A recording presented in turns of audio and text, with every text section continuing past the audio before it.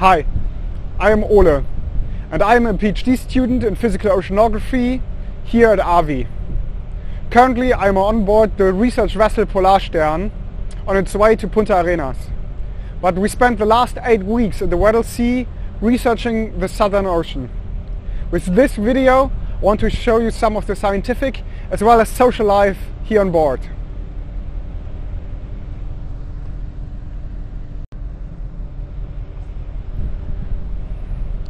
Usually work is scheduled all around the clock. But in the end, everything on this ship is controlled by the weather. This weather is typical for our cruise, I would say. But we also had really nice days with sunshine, very dry and temperatures of minus 20 degrees.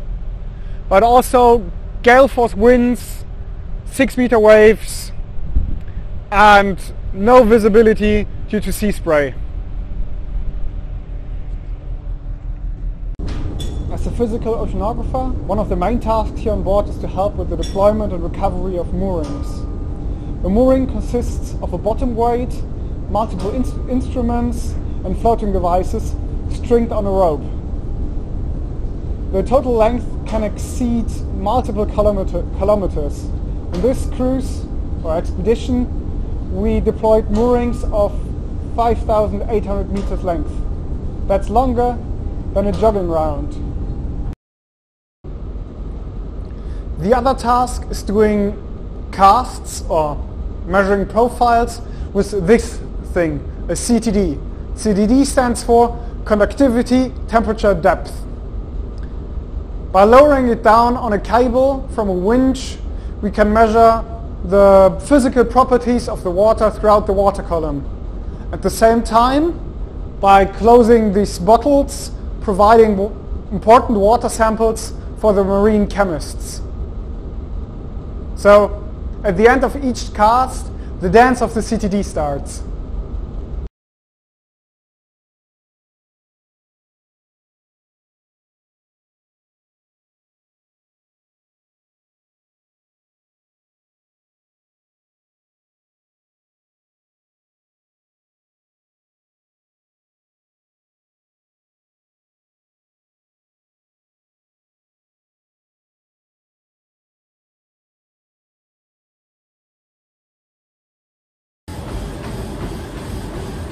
But if you do happen to have some free time in between your work, you can spend it, for example, in the gym.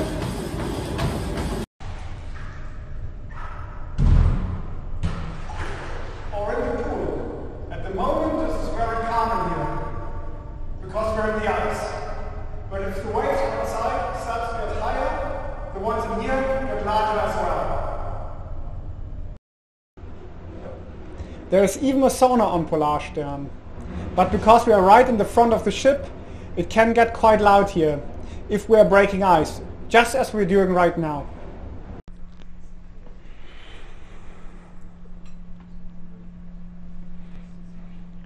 If you want an environment as relaxed as the sauna, but less sweaty, you can spend time in the Red Saloon, the living room of the scientist. Here you can play games, have a close access to the coffee machine, and sit in the most comfiest chair of the ship.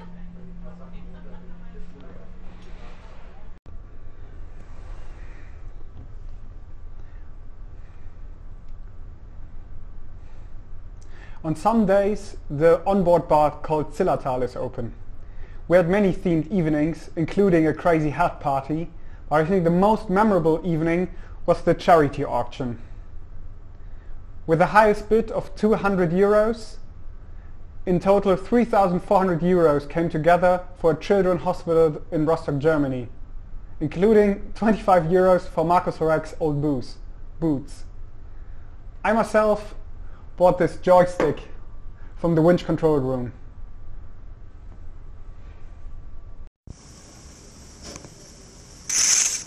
Oh, hi there.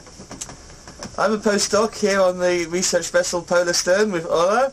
Uh, with my colleague Malte here. we look after the uh, the uh, camera sled that we tow behind the ship to film the seafloor.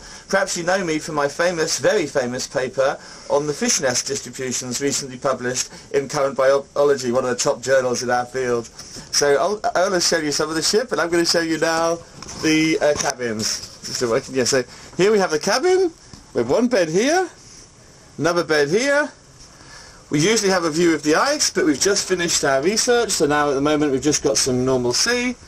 And uh, yeah, so here we got the visitors thing, and we got a spare emergency bed here. Sometimes we have three people here if we pick someone up from, Neu uh, from Neumayer Station. We have not enough plug sockets for modern research, so we all bring our spaghetti plugs everywhere. We've got a little fridge, you know that, things like this, of course. You can bring some literature you might want. I, as a cultured individual, bring a book of poetry, um, but you can bring whatever you like. We have a small bathroom here, ensuite for the two of us.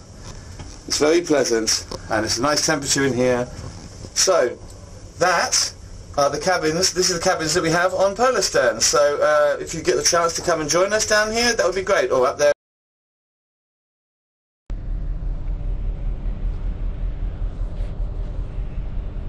But the best place to spend your time is undeniably outside. Look at the Antarctic landscape or the icebergs, the snow petrels, emperor and Adelie penguins, minke whales, humpback whales, the cracking of, of the ice if we go through it.